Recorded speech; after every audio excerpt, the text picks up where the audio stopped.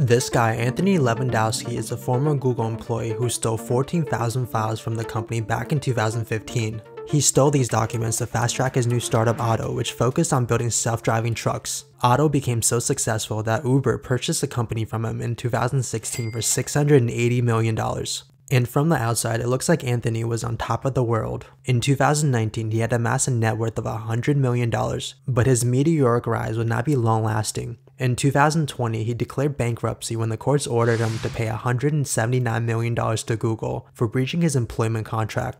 In this story, I want to talk about how Anthony climbed the tech world and how he managed to lose it all in a couple of months. My name is Jimmy and make sure to leave a like and subscribe and let's get started with the story.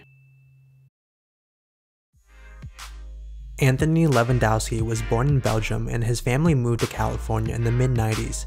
Even at a young age, he had already shown signs of brilliance. He taught himself programming and had built websites for local businesses while in high school. You can say that he's a pretty precocious kid, and in 1998 he entered Berkeley for industrial engineering. And during his time in college, he built the Bill and Sort robot in 2001. The robot was made out of 300 Lego pieces and had the capacity to sort Monopoly money. He also built a portable blueprint reader called Worktop for construction sites. And that wasn't everything he was doing at the time. He even ran a local IT company that reportedly made him $50,000 a year.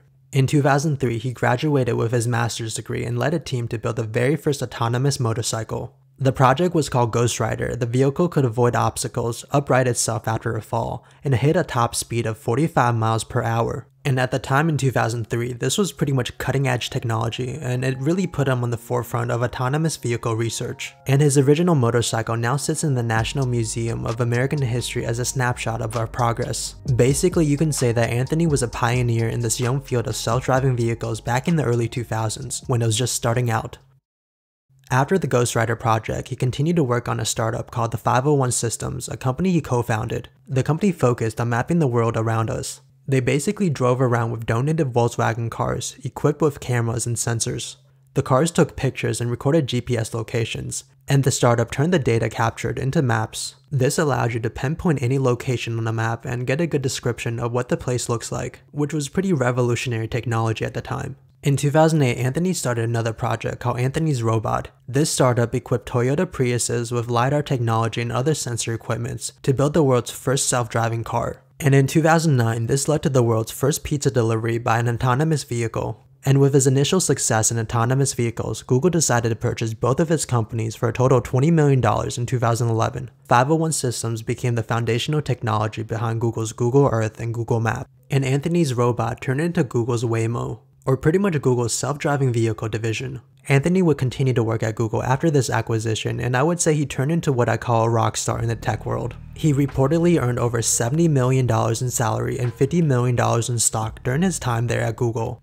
But he left the company in 2016 to start Otto, the new startup with the goal of equipping self-driving technology on semi-trucks. The modifications that he had built reportedly cost around $30,000, and the concept sparked interest from Uber, Uber acquired his company that same year for $680 million, and Anthony was now part of another tech giant. Unfortunately for Anthony, this is the part of the story where everything would fall apart for him. Anthony had breached his employment contract at Google by starting Otto and poaching 12 former Google employees and stealing documents. I'm sure he felt entitled to the documents since he basically created them. And Larry Page, the CEO of Google, even turned a blind eye to this event, since Anthony had done so much for the company but he eventually opened a private arbitration case against Anthony. Federal prosecutors also pounced and opened a civil case against him for stealing trademark information at the time. They cited the Economic Espionage Act of 1996 and began investigating the situation. Basically, you can see that Anthony had a lot going on. He had two ongoing lawsuits against him, one from federal prosecutors and another from Google and Uber also got tied up in this mess as well. Uber, the main beneficiary of Anthony's crimes, also faced a lawsuit from Google. And this made a lot of sense because Uber's new autonomous vehicles were pretty much identical to Google's. These three lawsuits began in 2016 and would pretty much be the downfall of Anthony. In 2017, Uber lost their case to Google since it was pretty obvious that they had copied Google. They were forced to give up 0.34% of their equity at the time, which doesn't seem like a lot, but it was worth $245 million. That same year, Anthony lost his job at Uber as he refused to comply with the ongoing federal investigation at the company. And also that the tension between him and Uber had gotten pretty bad because of all the lawsuits. After he got fired from Uber, he launched Pronto AI. The company focuses on a camera-based, self-driving system much like that of Tesla's. But in 2019, he was forced to resign from the company after being indicted on 33 federal charges. The charges come from years of investigation at Google and Uber, and they accuse Anthony of stealing trademark information under the Espionage Act. In 2020, he filed for bankruptcy when Google won their private arbitration against him for breaching their employment contract. Because of the lawsuit, he now owes Google $179 million.